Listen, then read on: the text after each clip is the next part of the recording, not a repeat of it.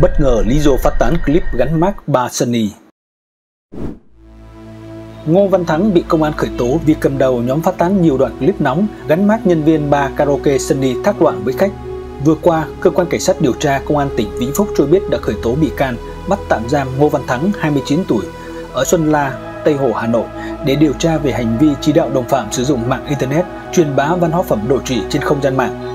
Theo công an, Thắng là người cầm đầu nhóm đăng các clip nóng gắn mác ba Sunny, phường Phúc Thắng, thành phố Phúc Yên, tỉnh Vĩnh Phúc. Công an cũng đã khởi tố bị can và bắt tạm giam đối với Lê Anh Tuấn, 23 tuổi, trú quận Cầu Giấy, Hà Nội, nhân viên của Ngô Văn Thắng về hành vi sử dụng mạng internet để truyền bá văn hóa phẩm đồ trụy.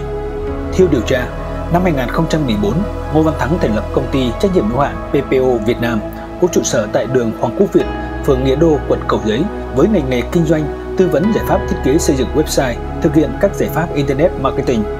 Khoảng tháng 9 năm 2020, có một khách hàng thuê Thắng tạo lập ba website laibóng.net, tinbóng.vn, vào bóng.tv.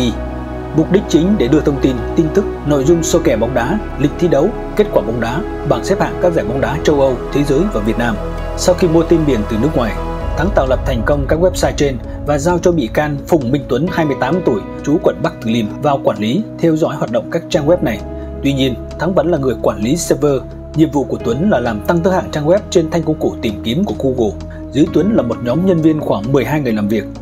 Để thuận tiện cho việc tuyển nhân viên vào làm việc, Tuấn đã thống nhất với Thắng tự đặt tên nhóm là công ty trách nhiệm hữu hạn truyền thông số Kena Việt Nam và thuê phòng tại một tòa nhà ở phường Xuân Đỉnh, Bắc Từ Liêm làm trụ sở hoạt động. Ngày 8 tháng 5 năm 2021, qua các trang báo điện tử và trang Facebook cá nhân, Thắng biết tình hình dịch bệnh COVID-19 bùng phát tại tỉnh Vĩnh Phúc có liên quan đến hoạt động của quán bar Karaoke Sunny, thành phố Phúc Yên, tỉnh Vĩnh Phúc được nhiều người quan tâm. Thắng đã tìm kiếm video đổi trụy phản cảm, gắn mác quán bar rồi đăng tải lên trang website vào bóng tv.com và phổ biến chia sẻ cho toàn bộ nhân viên công ty, chia sẻ lên mạng xã hội. Ngay sau khi đăng tải, các clip đã thu hút được 300.000 lượt xem chia sẻ. Sáng ngày 11 tháng 5, Tuấn Thắng trao đổi rồi xóa đoạn video clip đó trên trang web livebóng.live và chèn đường link về trang web vào bóng tv.com để kéo lượt truy cập website này để tăng lượt truy cập. Liên quan đến vụ án trên, ngày 16 tháng 5, cơ quan cảnh sát điều tra công an tỉnh Vĩnh Phúc đã khởi tố vụ án, khởi tố bị can Phùng Minh Tuấn 28 tuổi, Đỗ Thành Đạt 25 tuổi và Đặng Quốc Bình cùng trú tại Bắc Từ Liêm, thành phố Hà Nội